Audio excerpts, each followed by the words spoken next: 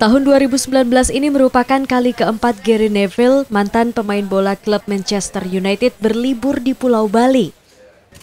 Tidak hanya liburan, kali ini Gary juga menyempatkan diri untuk mengunjungi Anika Linden Center Bali yang menaungi beberapa yayasan seperti Yayasan Peduli Kemanusiaan Bali, Yayasan Rama Sesana, di Network, dan Puspa di Bali. Mantan pemain termuda di Manchester United yang sekarang merupakan seorang komentator bola ini mengaku Kunjungannya ke Bali tepatnya dengan mengunjungi Yayasan ALC ini adalah karena tertarik dengan konsep kegiatan sosial di Indonesia. Menurutnya, meskipun kondisi fisik yang kuat dan sehat itu penting, namun yang jauh lebih penting dan harus diutamakan oleh setiap orang adalah kesehatan mental. It's fantastic. I think the great thing for me, where, where, where I think a, an organisation works best or a charity works best, is where you have the full cradle to grave approach. Where you, you can bring people in and you can make sure that they go from diagnosis to support to the, uh, the cure, if you like, in terms of the support for the cure, and then obviously the rehabilitation, and then the employment, which is the most important thing. Because to me, physical health is very important, but mental health is critical. And for mental health, you need employment. You need that stimulation. People need to have that purpose to wake up every day.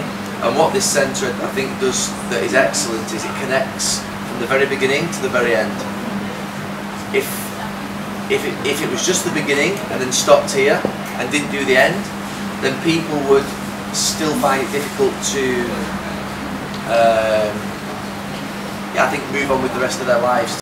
Sementara itu, pendiri Yayasan Puspa di Bali mengaku sangat senang atas kunjungan yang dilakukan oleh Gary di Bali. Kunjungannya ini dapat dijadikan sebagai motivasi bagi anak-anak disabilitas bahwa dirinya dapat berkarya meski memiliki kekurangan. Kunjungannya ini juga diharapkan dapat menghasilkan kerjasama-kerjasama baru yang menguntungkan bagi banyak pihak. Eh, kedatangan Gary ke Puspari Bali atau Aneka Linda Center tentu ini menjadi uh, inspirator bagi teman-teman penyandang disabilitas yang khususnya yang ada di Bali. Uh, bagaimana dia bisa selama ini hanya bisa lihat di layar kaca dan hari ini bisa rebutan selfie dan sebagainya. Nah kita harapkan Gary bisa menjadi semacam dutanya dari Puspadi atau Aneka Linda Center untuk menjadi uh, menyebarkan bagaimana teman-teman penyandang disabilitas itu bisa hidup mandiri Lalu yang kedua kita harapkan juga nanti uh, ke depannya bisa menjadi semacam uh, sponsorship untuk uh, amputi Bali Puspa di Bali amputi football yang akan kita rencanakan akan bentuk ke depan.